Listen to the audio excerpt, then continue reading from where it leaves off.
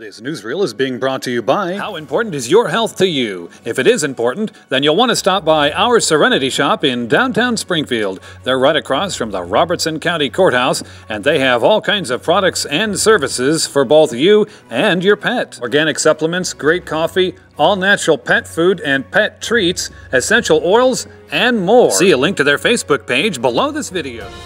This is Jim Ball reporting in Springfield.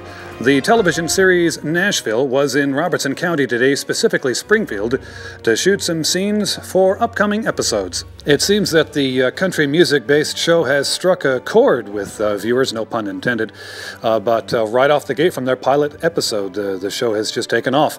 And uh, it's got the beautiful backdrop of Nashville itself, and it looks like the show's in for a run. that, of course, is no less than Charles Esten, one of the cast members of the show. As far as the young lady goes, we're not sure who she is. The Robertson County Courthouse in Springfield, with its beautiful architecture, has been the backdrop for many movies and TV shows. Uh, the size and scope of the crew and equipment that the Nashville show brought along with them today, uh, to me, was a little reminiscent of when Johnny Cash and Kris Kristofferson were in town, uh, filming the last days of Frank and Jesse James. Of course, that was a full-length feature film, and they really took over the courthouse with uh, horses everywhere and gunfights. It was pretty spectacular. Uh, they filmed a few scenes around the downtown area of course, here at the Robertson County Courthouse, and then around the corner on Locust Street at the First Presbyterian Church. Uh, then it was down the hill to Memorial Boulevard to shoot some scenes inside Springfield Drugs. Uh, Springfield Drugs has a beautiful classic 50s style diner. If you haven't eaten there already, you should stop on by for lunch. Uh, normally, with these kinds of productions, you don't really get an opportunity to uh, chat with the crew very much, but uh, in this case, uh, some local businesses lucked out because the frigid temperatures had them running for cover wherever they could find heat. In fact, they set up refreshments for the crew inside the Flooring Center, which of course is right next door to Springfield Drugs. Well, there you have it, Robertson County.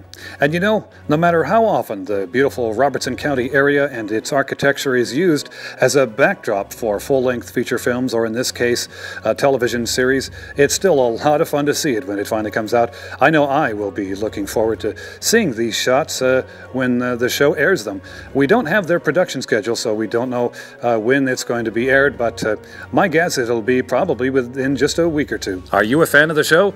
Who's your favorite cast member? Be sure to let us know in comments below. As you know, SmokeyBarn works hard 24 7 to bring you the news and all things Robertson County. So the next time you happen to see breaking news, be sure to give us a call. This has been Jim Ball reporting for SmokeyBarn News. When you're going over the vast array of flooring options available today, why not consider a company that's been doing floors since the early 1900s? That's right, I'm talking about the Flooring Center. They're located at 505 Memorial Boulevard in Springfield, and the minute you walk in the door, you'll know things are different. One thing you'll notice right away, whether you're talking to an installer or you're talking to a salesman on the floor, everyone knows a lot about floors at the Flooring Center. So whether it's hardwood or tile, if you're looking for price, quality, and service, then you're looking for the Flooring Center, formerly the Furniture Center. For more great flooring ideas, see a link to their Facebook page below this video.